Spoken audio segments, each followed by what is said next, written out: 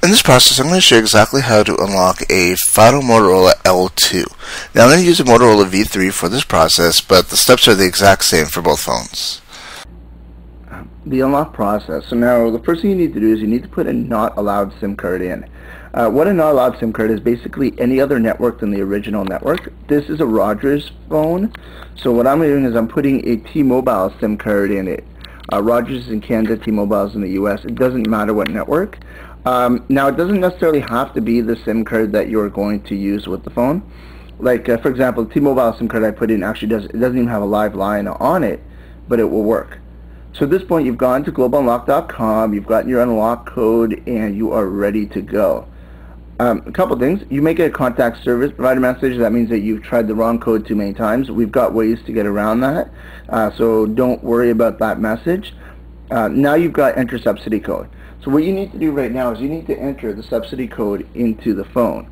So I'm going to enter the one, again, it's unique for this phone, so it's not going to work on your phone. Uh, you can't even see it. You can see what I'm typing. 30999 So once you've done that, you click the top corner here, it says OK. Watch what happens. Now it shows FIDO. Now it shows the number that was actually on the SIM card.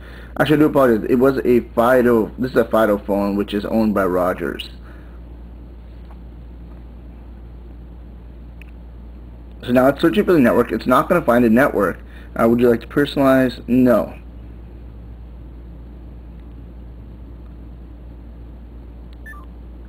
So what's going to happen here is you're actually able to enter into the menus. That actually shows that the phone has been unlocked. Where before, same T-Mobile SIM card that is in there, um, when I put that in, you were not able to actually make calls uh, with this phone. It's an enter subsidy code. Now that you're actually able to do that.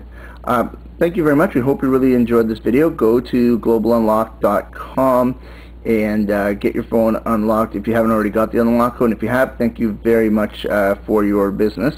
And uh, hope you enjoyed it. Take care. I'm Nick Riccardi. And I'm Rob Riccardi. And we're from Providence, Rhode Island.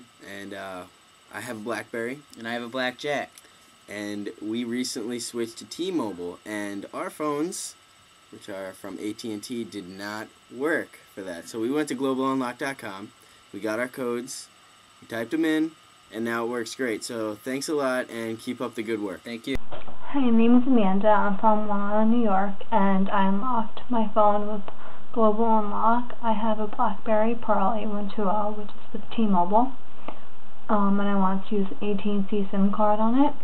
Um, so I placed an order in on Saturday night, and it, they said it would come within one to three days, and it came first thing on Monday.